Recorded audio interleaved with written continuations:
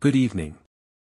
Tonight we examine a milestone in defense technology and its broader implications for military strategy, industrial policy, and international security, the first flight of Anduril Industries YFQ-44A, a jet-powered, uncrewed aircraft designed to operate alongside manned fighters as part of the U.S. Air Force's Collaborative Combat Aircraft Initiative.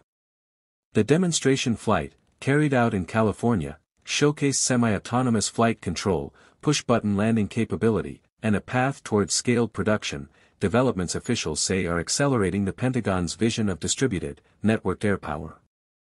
The YFQ-44A, nicknamed Fury by parts of the press, emerges from a rapidly changing defense marketplace where traditional prime contractors compete with Silicon Valley-backed startups.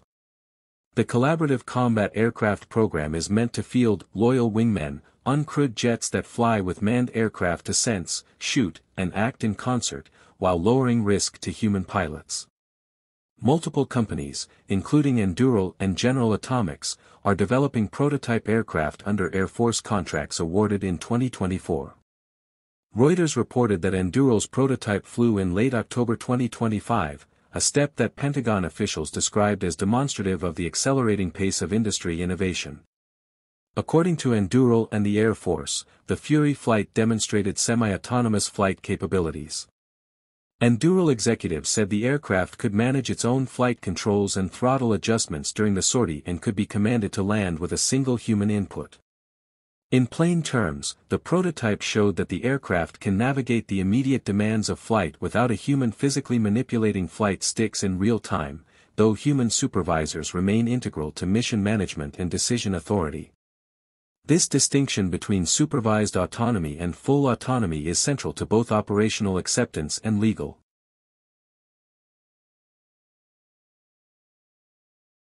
Frameworks for future deployments. Why the milestone matters. On its face, a test flight is an engineering event, a carefully choreographed verification of systems. In strategic terms, it signals several broader trends. First, it underscores the Pentagon's commitment to integrating autonomy across air operations. Second, it validates the startup model for defense innovation, rapid prototyping, iterative testing, and the aim of moving quickly from lab to fleet. Third, the demonstration feeds a growing industry competition to field survivable, networked systems for contested environments, especially in the Indo-Pacific region where distances are long and adversary capabilities are advanced. Reuters quoted an Air Force official who framed the milestone as an example of how competition speeds delivery. Technical highlights, design and capabilities. The Fury's external appearance is familiar to anyone who studies modern military aviation, a small, swept-wing, jet-powered airframe with no cockpit and a configuration optimized for speed, signature reduction, and payload flexibility. Because the prototype is designed as a loyal wingman, its critical features emphasize networking, sensor fusion, and modular mission payloads. These aircraft are intended to carry sensors for intelligence, surveillance and reconnaissance, electronic warfare packages to shape the battlefield, and potentially kinetic weapons while operating in coordination with manned jets. Anduril's public statement emphasized flight control autonomy and the firm's intention to scale manufacture. A crucial aspect of modern uncrewed systems is the balance of autonomy and human oversight. Anduril described the YFQ-44A as semi-autonomous, able to manage low-level flight and basic maneuvers without constant human joystick inputs, but still subject to mission-level human control. This supervised autonomy fits current legal and doctrinal norms and addresses ethical concerns about removing humans from critical kill chain decisions. The distinction matters because full autonomy in lethal targeting remains a political, legal, and operational red line for many defense establishments. NATO allies and international partners watch such developments closely, with policy debates ongoing about where to draw those lines. Production and industrial implications. Anduril's announcement included plans to ramp up production, with manufacturing expected to begin in Ohio the following year. That move reflects a larger pattern, defense startups increasingly plan domestic production lines to deliver at scale. For the Air Force, a supplier base capable of rapid production is critical, both for equipping forces and for sustaining competition in procurement. If Anduril can transition from prototype testing to serial production, it will mark a significant shift in the industrial base, newcomers competing for roles traditionally dominated by established primes. In parallel, other firms such as General Atomics, Shield AI, and international competitors are advancing their own prototypes, creating an atmosphere of technological competition that the Pentagon explicitly seeks to leverage. Operational concepts, how loyal wingmen might be used. In operational terms, CCAs are intended to expand the reach and survivability of air campaigns. In high-threat environments, manned platforms are vulnerable to advanced anti-air weapons, a distributed mix of manned and unmanned aircraft complicates enemy targeting and permits new tactics. Loyal wingmen can conduct riskier ISR missions, provide electronic attack standoffs, absorb initial defensive fire, or act as sensor nodes to extend a manned fighter's situational awareness. Strategists see these systems as force multipliers, they do not replace pilots, but augment decision space and margin for action. The Pacific Theater, with its geographic scale and evolving anti-access slash area denial threats, is often cited as a key driver for this technology. Policy and ethics, the governance question. As the technology matures, policy choices will shape its use. The U.S. Department of Defense has established frameworks for human-in-the-loop and human-on-the-loop control, emphasizing human responsibility for lethal actions. But as autonomy grows, accountability and export controls become pressing concerns. Allies will want shared norms to limit misuse, while adversaries may pursue unconstrained development. International arms control discussions, though historically slow, may soon encompass cooperative agreements on autonomous systems, otherwise, a technology arms race could escalate rapidly and create strategic instability the public conversation will likely intensify as prototypes move into production and field trials become operational deployments. Anduril's flight is also a snapshot of the post-9-11, post-procurement era, venture capital, Silicon Valley talent, and commercial engineering practices converge with defense needs. Companies like Anduril leverage software cycles, continuous testing, and modular design to iterate faster than traditional defense contractors.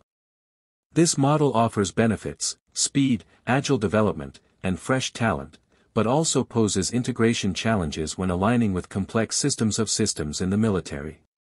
Procurement reform and supply chain robustness remain top priorities for defense planners seeking to operationalize prototypes at scale.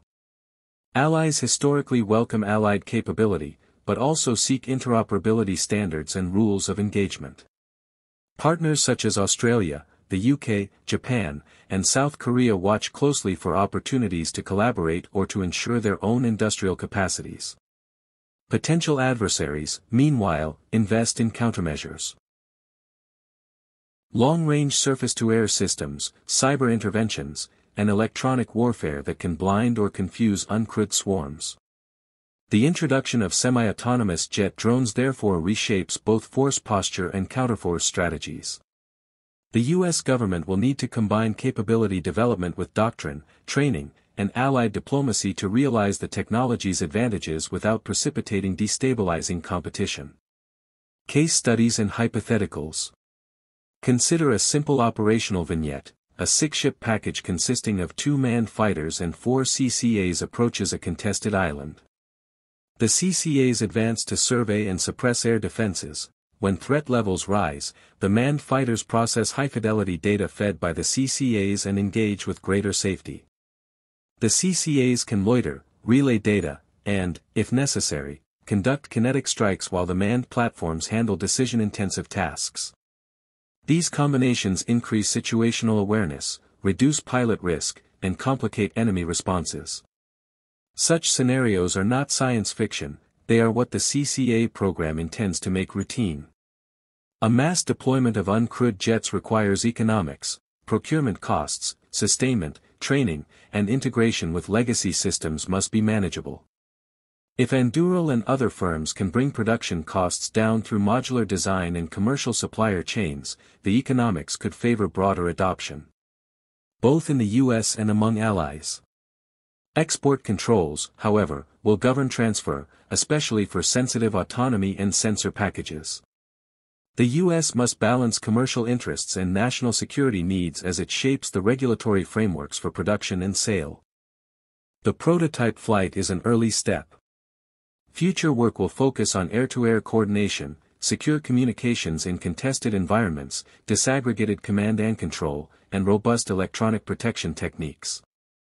Integrating artificial intelligence into mission processing will continue, but safety, and human oversight, remain primary constraints.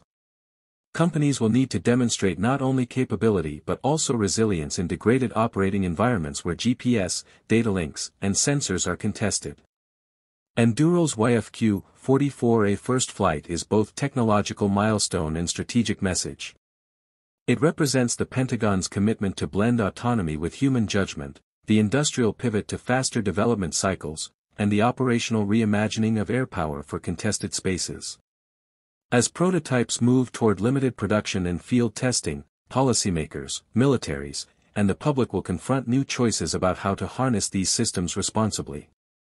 If the last decade showed the speed of software-driven change in defense, the next will test our ability to govern and integrate that change into sustainable, ethical, and strategically stabilizing force structures. We'll continue to track flight testing, procurement decisions, allied cooperation, and policy debates as this program evolves. For viewers interested in the intersection of technology, policy, and national security, the YFQ-44's first flight is a development worth following closely.